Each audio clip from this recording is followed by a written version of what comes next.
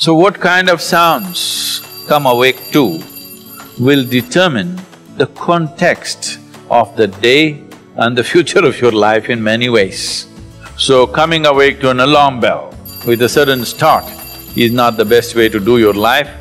If your body right now, because of the kind of food that you consume and the kind of thoughts and emotions that you process within yourself and the level of vibrance that you have managed within your body will determine how much sleep you need.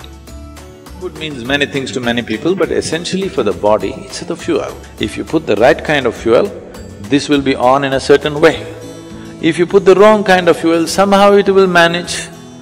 I'm not telling you eat this way, eat that way, just experiment and see. Just experiment and see. Tonight if you go, instead of eating whatever cooked food, just eat fruits and see, tomorrow morning you will not need an alarm bell, you will wake up before the alarm bell. And you will see all these eyes will not be sticking like this, like that, you wake up, instantly you're bright and alert. People do not know what it means to be at absolute ease within their body.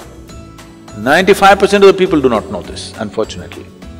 Because you put the wrong kind of fuel, you can keep this body like breeze. Simply, it goes ahead of you, you don't have to drag it wherever you go.